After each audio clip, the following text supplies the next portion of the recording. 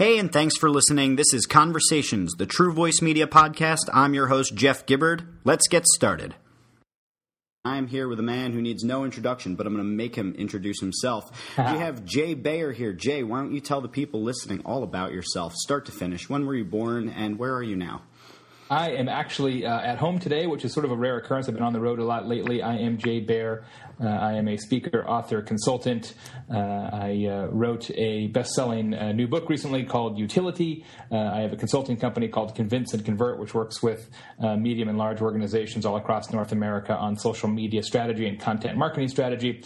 we have a, a, popular blog as well at convinceandconvert.com, and I'm the host of the weekly Social Pros podcast. Oh, but there's so much more. There's the social habit. Uh, from what I understand, you're also an investor in a fair number of really cool companies. So you are you are spreading yourself all across this web doing cool stuff. I'm spreading myself thin, is what I'm doing actually, but uh, but but I'm doing the best I can. Fair enough, man. That's really cool. Um, well, uh, I wanted to ask you a couple things before we got into. I definitely want to talk a little bit about utility, but I want. I'm actually really curious about um, sort of your history and how you got into this business. Um, just sort of as a, a, foundation, this podcast is I get to talk to just people and ask them questions. I'm following in Mitch Joel's sort of format where I just want to ask people things that I really want to ask them. Um, so I got the opportunity to see you speak in New York uh, for the book release party of Youtility with yeah. OfferPop. Very yep. cool. And what I just want to know is how did you get here? What what was the journey that got you to become this content marketing um, and and social media strategy consultant, speaker, etc. Well, it was definitely a journey, that's for sure. Um, I started originally in politics. I was a political campaign consultant, and I did that for a little while, uh, and then got out of that business and worked in corporate side marketing for a, a short period, and then uh, worked very briefly for the government. I was the spokesperson for the Department of Juvenile Corrections in Arizona. So my job was to give tours uh, of the uh, youth prison, which is not even as fun as I just made it sound. Uh, and I really hated that job. Um, and but partially just because it was you know kind of a weird place to begin with, but but also just the government the sort of nature of government work, which can be somewhat uh, you know.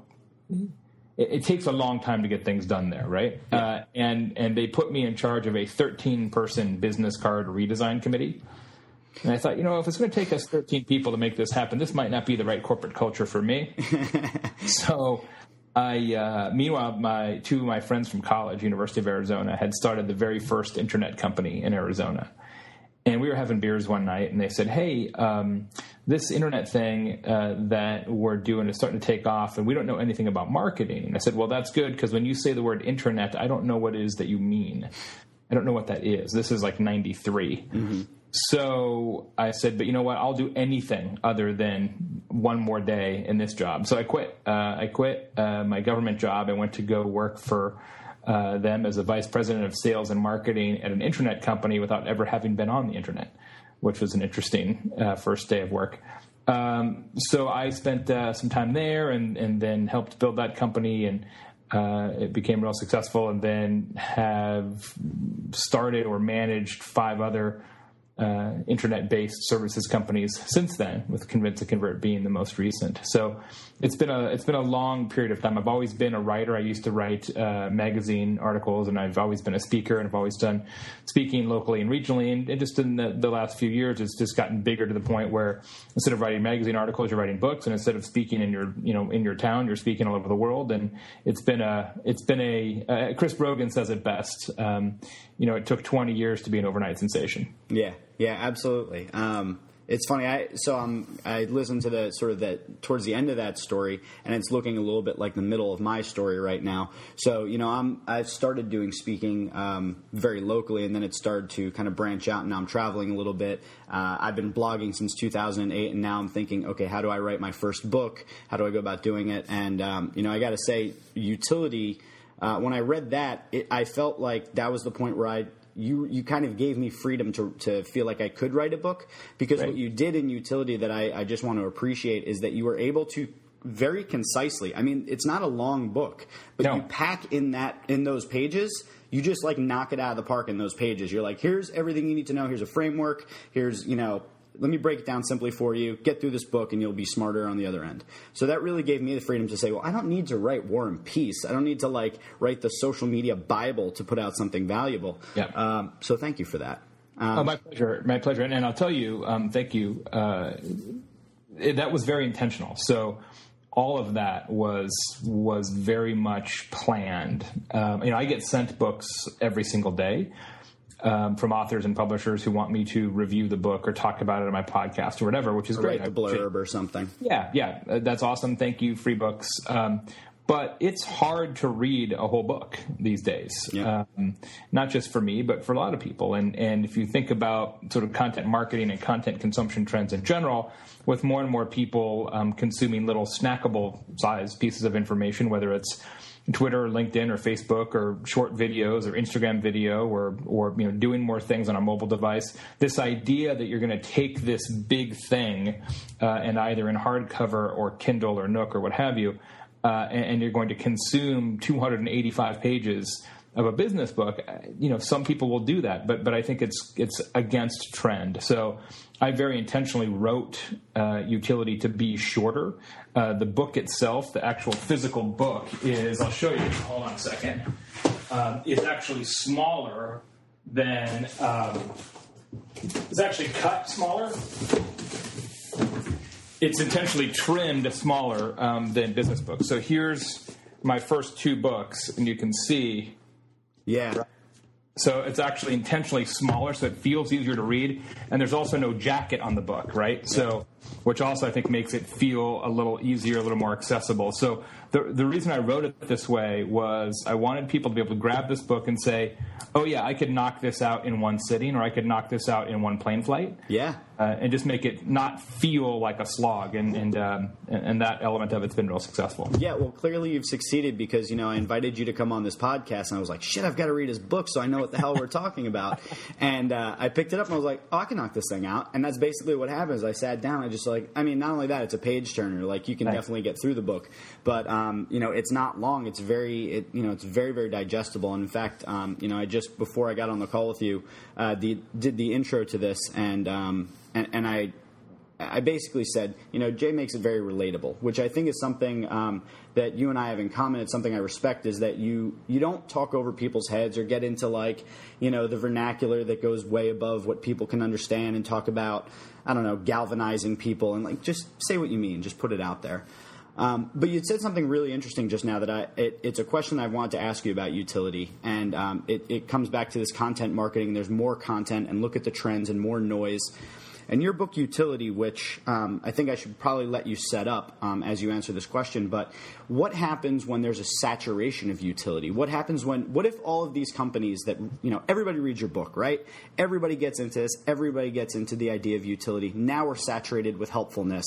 How do you then, what happens next? Yeah, it's a great question. Um, you know, the premise of utility is that it's marketing so useful that people would pay for it. That it's marketing that has intrinsic value, that has value unto itself. It's it's marketing as a service or marketing as a product.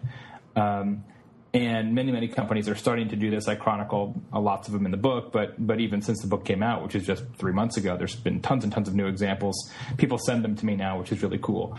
Um, I was thinking you should have like a delicious bookmark just I for actually that have, or something. I have the good ones that I really like. I add to the website to the utilitybook.com website. There's a section there called New Utilities, and I keep adding links there. Yeah, you should use like IFT or something and track Delicious and all the Yeah. other things that people tag and see if you can just chronicle like a giant mass of Yeah, them. Good idea.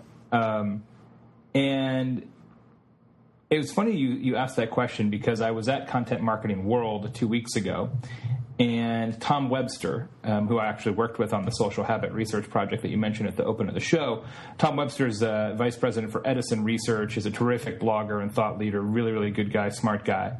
And he and his wife Tamsin gave a presentation at Content Marketing World about that exact question. What happens when everybody's doing this, right? So right now what you have is a market inefficiency, right? You have consumers that are desiring more useful content, more helpful content, more utilities, and you have a relatively small number of companies that are providing that, that are filling that gap. Once that gap is is totally full and you can't exploit those market inefficiencies, uh, then then what happens? And and I don't know the answer to that. Um, I've, I've, been thinking about it, but I don't know the answer. That Tom has some thoughts on it um, about what happens next. I think to some degree it's interesting what Google has done in the last week or two. Yep. Uh, the Hummingbird release and and hiding uh, search terms now, keeping all searches private, things like that. That that's making content marketing. Mm, perhaps less linear and and less sort of a arbitrage moneyball kind of game and and more hey you just have to have great content uh, and it's got to be great enough that people will spread it uh, on their own. You can't necessarily say here's the search term that we're trying to match this content up with. Uh, it's just got to be good enough to, to live on its own. I think that's actually a good thing from a utility standpoint but you're right. At some point there's going to be somebody who does the ultimate blog or whatever in every category uh, and and then what? Yeah. Um, i'm not certain yeah, and then there's sort of this like early in thing going on, which you know you were very early in on Twitter, and you know I, I, think all of those that got very early in on Twitter, you can clearly see that their following is is representative of getting in early. I think Google Plus right now is that kind of open space where people can get in early if it if it you know really matures and grows as I think it will. There's a huge opportunity there. And then once it becomes saturated, there's just those people that are established. So um, you know these if we get to the point where there's all of this utility and there's all of this um, content out there, it makes you think what happens next is it's the relationships, the people that you go as your definitive trusted sources yep. or that others trust. Um, so that's kind of to your point about what's happening with uh, with Google. I think one of the other things that that is going to happen. Uh, you know, a lot of the definitive places now are primarily written you know our, our blogs or things along yeah. those lines and, and as content consumption continues to shift toward multimedia uh, whether it's podcasts or videos etc um, i feel like you have an opportunity to say well yeah somebody else has this covered in writing but we're going to cover it in video, uh, mm-hmm. uh, and, and, and I think that is sort of a secondary opportunity, at least uh, in the short and midterm, right? That, that there will be two winners in every category. There'll be the the winner in writing and the winner in pictures. Yeah, or in video or in audio or whatever it might be. And then when you think about things like Google Glass coming into the into the fray, and then you've got you know sort of the contextual overlay of our world, then there's winning in that space as well. Absolutely, yeah. I mean, I, you know, there, there will be a time when when utility at the local level at least is defined by augmented reality, right? How who can be the best source of information as I'm walking around. Um, now, I tend to think that Google itself will be the winner most of the time. Yeah. Uh, they kind of have some natural advantages there. And who they're uh, investing in shows that they're very, very clearly trying to get to the next phase of things. They're not worried about what has been, they're looking at what will be. Yeah, no question. Right on, man. So you said something when I saw you speak. I want to I want to ask you about because I'm not sure I agree with you on it. So I I want to hash it out with you because I think it's interesting. You said that you think that websites will become the AM radio of of the internet essentially, and that apps are the new thing, the appification of um, the web is, is mm-hmm. kind of where things are going. We're moving towards more unique experiences, device centric experiences, etc. Um, I'm not sure I agree with you, but at the same time, I think what we we might be on opposite sides and we might meet in the middle. I think that websites are going to continually evolve, and they're going to meet somewhere in the middle with apps. They'll just need to essentially adapt to to meet the experience of the person based on where they are and what they're doing. Um, yeah. But tell me, tell me more about what you think about this appification and the, the specifically the AM radio of the web. I, I, should make sure that we're clear that that's not my quote, nor is it necessarily uh, my original perspective. George Colony, who's the CEO of Forrester Research, okay. was the one who originally coined the phrase appification and is also the one who is credited with the quote that websites will be the AM radio of the internet.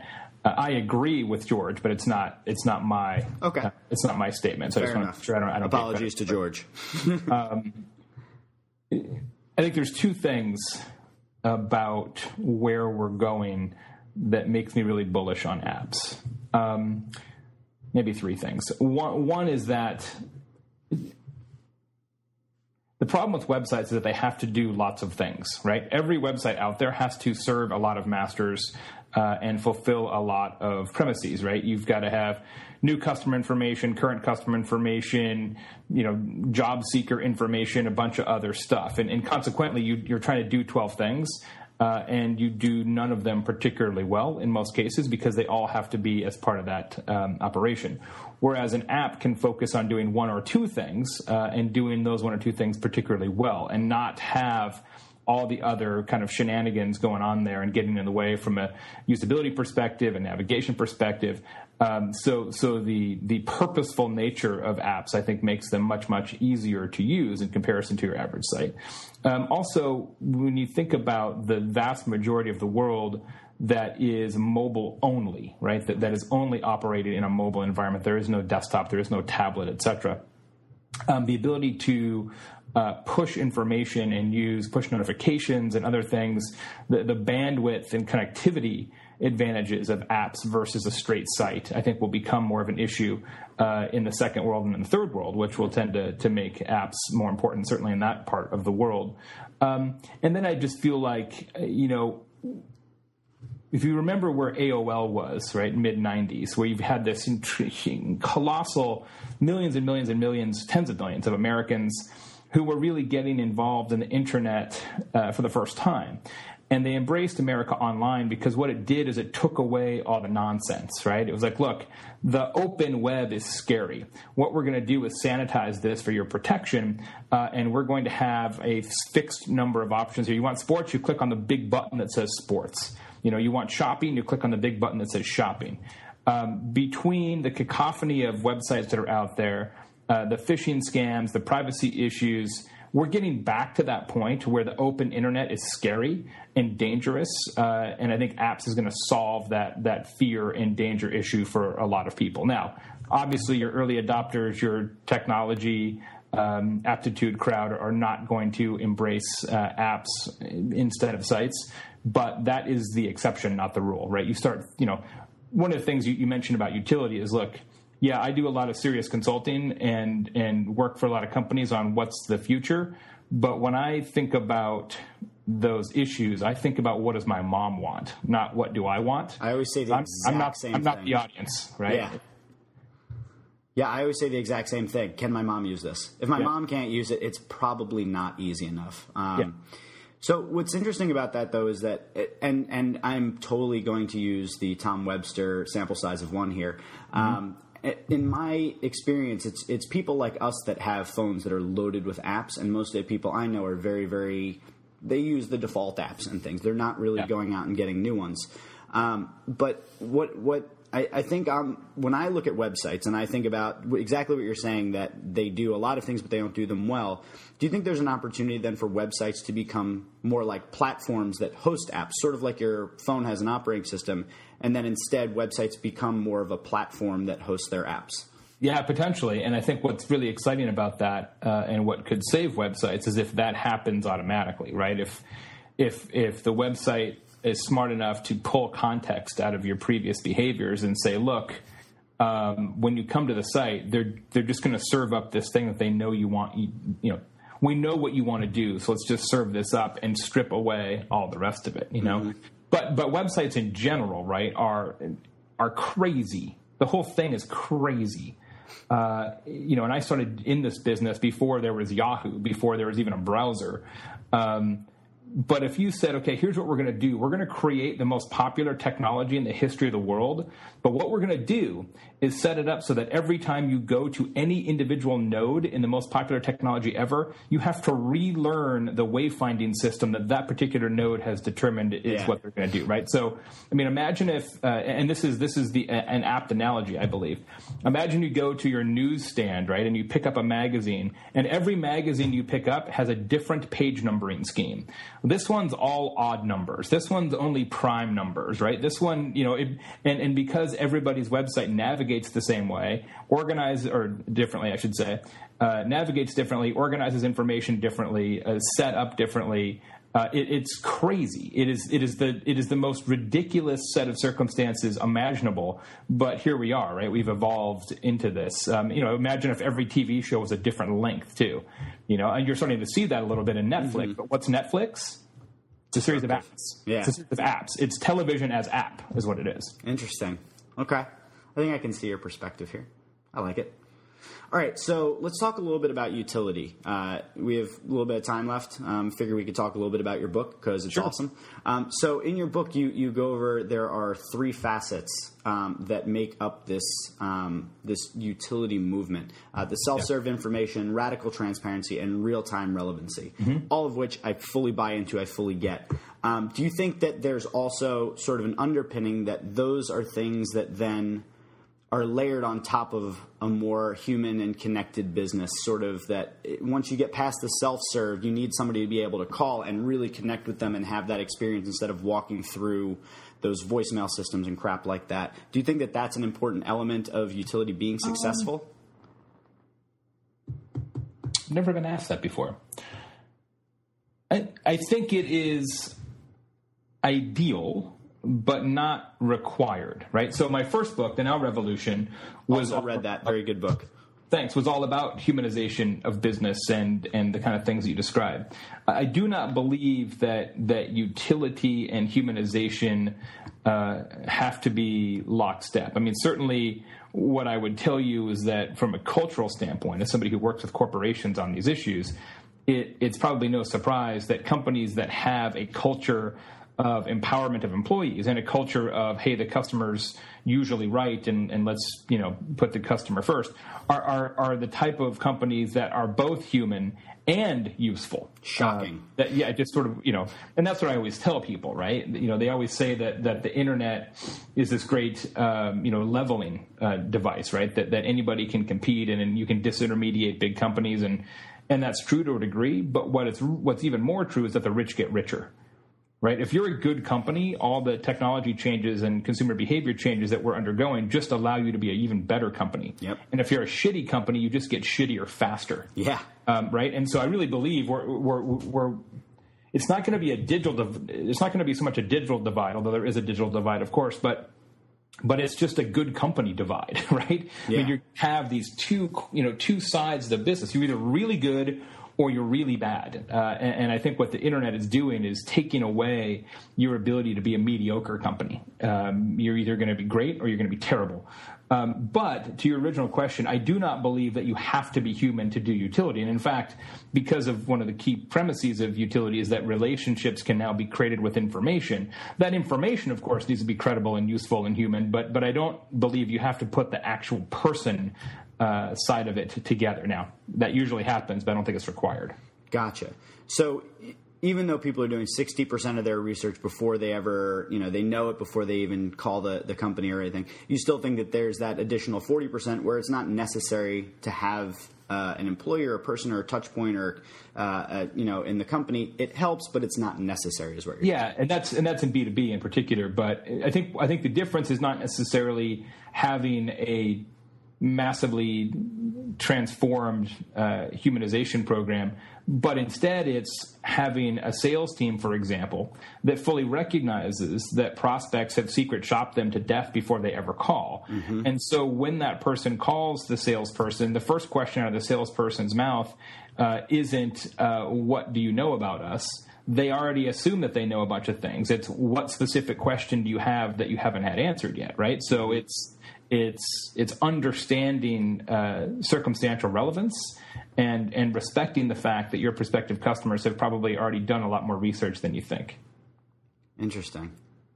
So so let me ask you a question about this because this is one I've recommended your book to a number of people because I think that it makes a very. Uh, you're welcome. I, I, think it makes a very good. Um, you make a very good argument. You make it very clearly. You make it very concisely. But it's still a 100 and some odd page, 150, 160 pages, mm-hmm. something like that. And if I'm trying to sell one of my clients on the idea of utility, um, I have to figure out how to do that in less than 100 and some odd pages. I have to yep. be able to clearly communicate to them um, why should we be doing this. And to your point that you make very early on in the book is that this is flipping marketing on its head. It's not what we've typically seen out of marketing departments. Not at all. If they've been used to doing, you know, if they've been in business for 20 years or something, they're used to advertising, they're used to PR, they're used to all of these things that are primarily immeasurable, that are in many ways secretive, they're very controlled, they're all of these things. How do you make the case? For utility clearly and concisely to a CEO or a CMO that doesn't get this shit. Yeah. Well, that's why I use so many examples, both in the book and in my live presentation. I'm always talking about examples, and I write up new ones on the blog all the time. Uh, even if it's not an example from your exact industry, um, I, I, think when you start to demonstrate what can be done uh, in the world of utility and useful marketing, it, it helps people understand oh, we could do that as well. I mean, I did a, I did a presentation this week for a big corporation, a very specific type of business, and so I didn't have any examples for their category necessarily. I just don't know of any. But I had a bunch of other examples um, from other types of companies, but but that totally resonated with them. Like, oh, we gotta we gotta totally change what we're doing. We have to fundamentally reconfigure the way we think about marketing. So the nice thing is that there's more and more examples out there, right? Every day, and more companies are starting to do this, and you have to just pull those examples out and and uh, and put them in front of uh, the CEO or CMO in question. Now, what I'll tell you though is despite the fact that my company is called Convince and Convert, um, I always find it usually a fool's errand to try and convince or convert. Um, you know, you have to give people the raw materials to help them understand that marketing has changed, but you can't convince somebody that marketing has changed.